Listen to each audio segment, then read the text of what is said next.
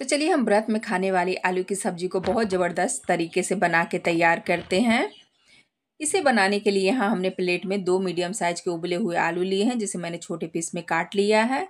एक चम्मच घिसा हुआ अदरक लिया है, दो हरी मिर्च, थोड़ी सी मूंगफली और थोड़े से करी पत्ता को लिया है। गैस पे हमने कढ़ाई को चढ़ा लिया है। अब इसमें हम एक से डेढ़ चम्मच तेल या घी डाल लेंगे।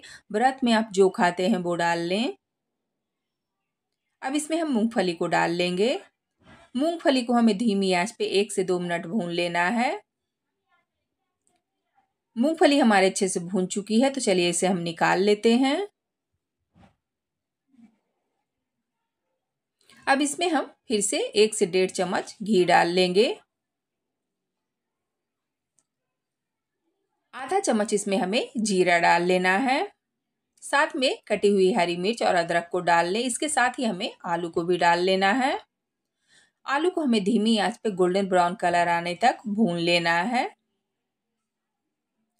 अब इसमें हम करी पत्ता डाल लेते हैं। करी पत्ता का टेस्ट इस सब्ज़ी में बहुत अच्छा आता है तो आप ज़रूर डाल लें। ये आलू की सब्ज़ी खाने में इतनी टेस्टी लगती है कि पूरे नवरात्रि आप इसे बना सकते हैं, खा सकते हैं। बनाने में कोई ज़्यादा समय भी नहीं लगता है।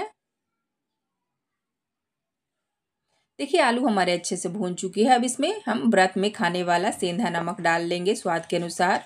साथ में कुटी हुई काली मिर्च को भी डाल लेंगे और इसे अच्छे से मिक्स करते हुए हम भून लेंगे। आलू देखिए, अच्छे से भून चुकी है। तो चलिए, इसमें हम मूंगफली को डाल लेंगे। यदि इस समय आपके पास भुना हुआ मखाना हो तो वो भी आप डाल सकते हैं। और इसे हम अच्छे से मिक्स कर लेंगे। देखिए, इसे हमने प्लेट में निकाल लिया है। साथ में मैंने ऊपर से किशमिश को डाल लिया है। किशमिश का भी टेस्ट इस सब्ज़ी में बहुत अच्छा आता है तो आप ज़रूर डालें।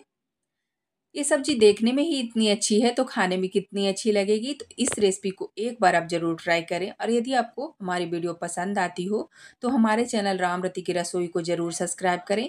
सब्सक्राइब करने के कोई पैसे लगते बिल्कुल फ्री होता है तो आप भी बेफिक्र होकर ज़रूर सब्सक्राइब करें और कमेंट में बताएँ ये सब्ज़ी कैसी लगी।